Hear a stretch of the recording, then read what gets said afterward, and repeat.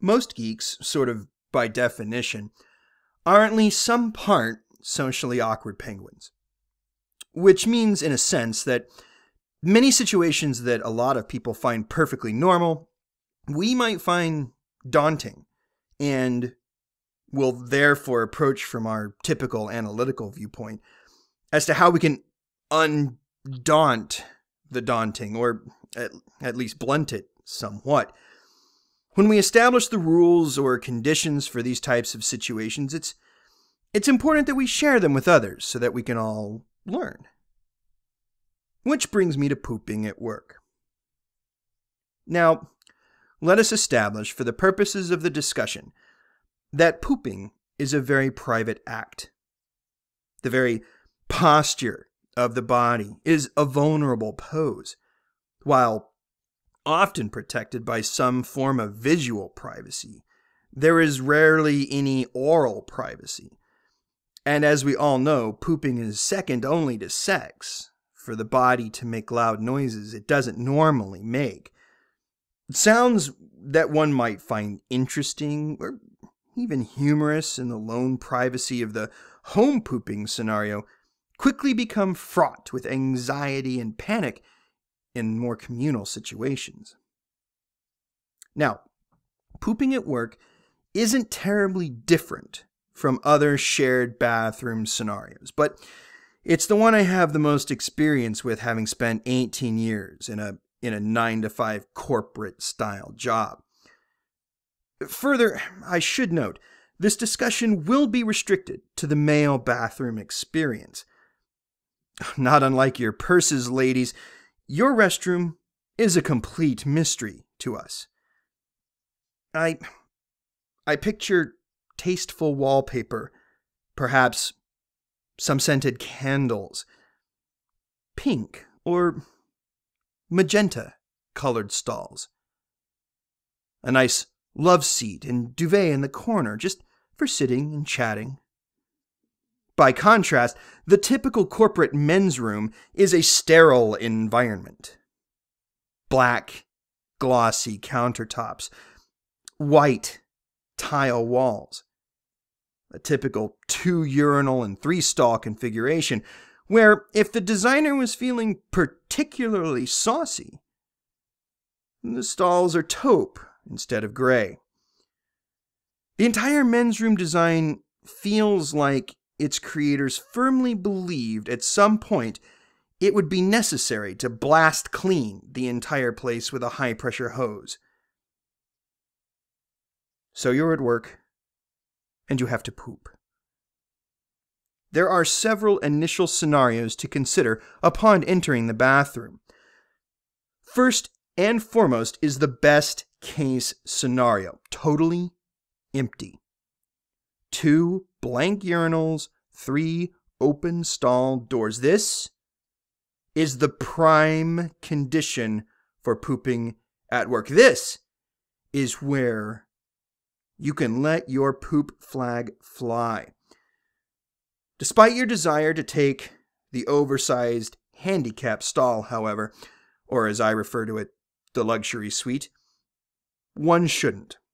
As awkwardness reaches new levels when you exit the handicap stall, and the only other person in the empty bathroom is someone who actually requires it. Now, much like the urinal rules, which I won't cover here, the situation becomes more complex if one or more of the stalls are occupied.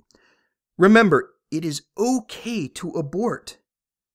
However, if your level of awkwardness isn't that high or your need is too great, where possible, try not to take a stall next to someone.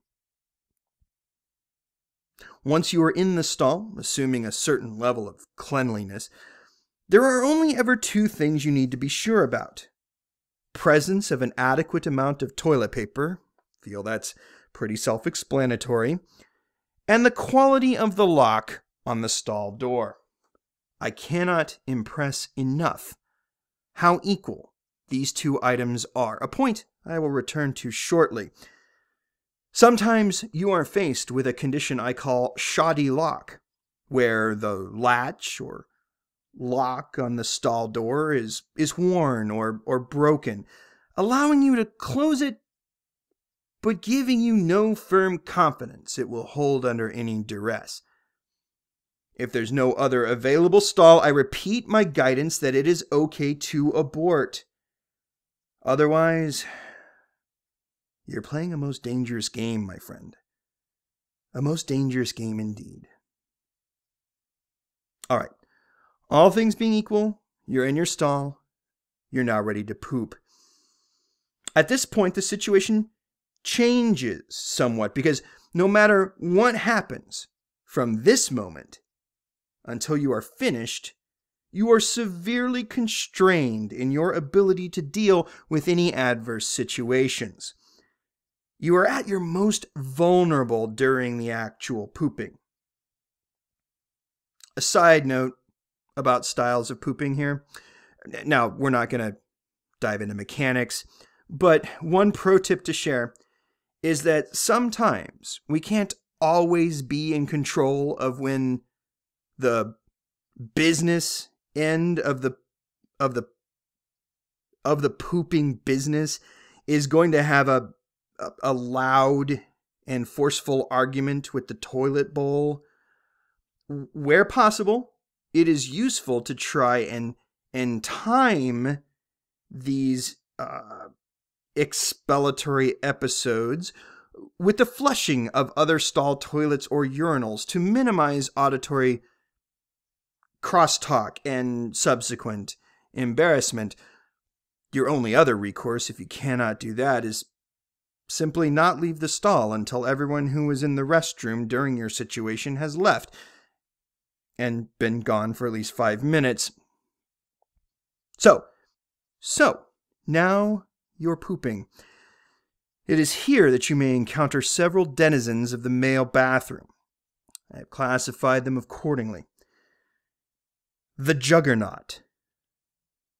A normal person entering a bathroom and encountering one or more closed stall doors will assume that those stalls are occupied even if one assumed the doors were somehow stuck and the stalls empty, normal behavior would have them stoop low enough to look for the presence of feet. Not the juggernaut. The juggernaut barrels into the bathroom, selects one of the closed doors, and pow, rams it with his shoulder. Pow! He'll typically do this not once, not twice, but three times. Pow! This forces you to shoot your legs out straight from the toilet to brace the door. The stress of the situation will cause you to call out in your least outraged and indignant voice, Occupied! Assuming the juggernaut did not hear your mouse squeak, they will eventually conclude the stall is occupied and move on. The Beholder. The Beholder is much more courteous than the juggernaut but subtly more terrifying. Most restroom stalls have a gap between the door and its frame. While the beholder won't test the door, they instead will hover at the gap and peer through one eye into the stall to see if it is occupied, which always looks like a beholder from Dungeons and Dragons to me when I, in mid poop, look up and see their eye floating in the gap of the door. One trademark of the beholder is the abnormally long time it takes them to discern visually that yes, the shocked and fearful looking person on the toilet does in fact mean the stall is occupied. The shadow. The shadow is the most disconcerting member of the menagerie. You clearly hear someone enter the restroom. You you can even hear them approach the stalls, not the urinals. You know the other stalls are occupied. Then you hear nothing. The shadow makes no noise, and yet they are there. Who are they? How, badly do they have to go? Are, are they waiting patiently or impatiently? Oh God, are, are they thinking I'm taking too long? How How long have I been in here? The shadow compounds your anxiety with their very silence until you finish and rush out of the stall, being sure not to make eye contact as you mumble your apologies for taking too long. Most of these scenarios are fairly benign, and I think by sharing this with you, we become more comfortable and knowledgeable. The only real problems occur when some of the scenarios and the denizens combine. The cure for constipation, by the way, no matter how bad it is, is the combination of Shoddy Lock and the Juggernaut.